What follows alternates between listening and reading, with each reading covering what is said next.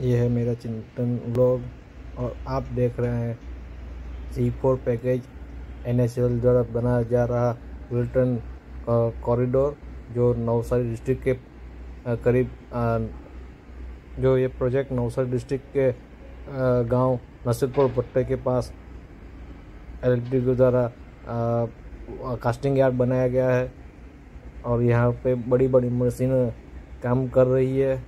जो आप सामने देख रहे हैं कस्टडियल करियर है।